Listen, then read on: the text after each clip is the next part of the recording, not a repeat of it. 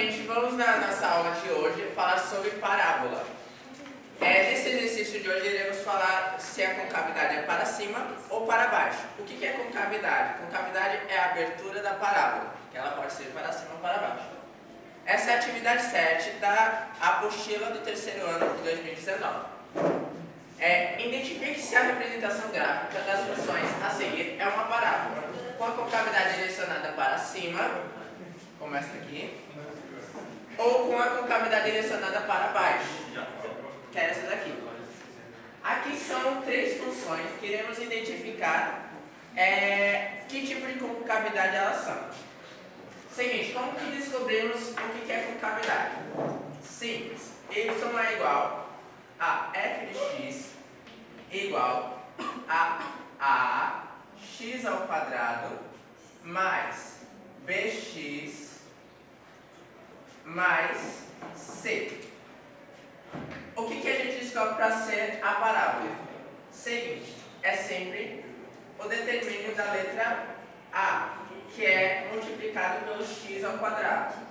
É você, o A sempre só multiplica o x ao quadrado.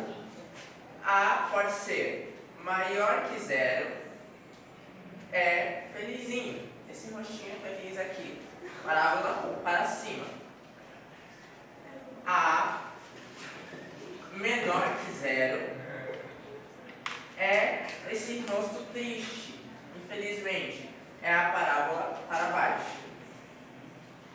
Lembrando desses dois rostos aqui, a gente sabe como descobrir a parábola, se a concavidade é para cima ou para baixo. Então, como que a gente vai descobrir estas funções? O que, que, é, que é aqui, gente? 3. 3. 3 é o A, o B ou o C? A. É o A. Então, 3 é maior ou menor que zero? Maior. Se 3 é maior que zero, a concavidade dessa parábola é para cima. O fim?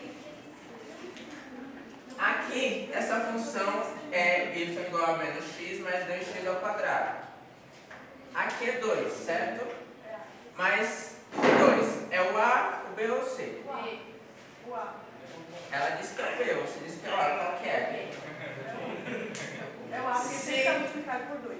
Se A sempre é x, é multiplicado por x ao quadrado e B é por x, e C é um número separado. Então, 2 é A. A. Aqui a 2 é maior ou menor que zero? Maior. Se é maior, a concavidade é Para C. para cima. E o P? Aqui é y igual a menos 4x ao quadrado mais 5x mais 2. Aqui está menos 4, certo? Menos 4 é A, B ou C? A. A. Menos 4 é maior ou menor que zero? Menor, então a concavidade é...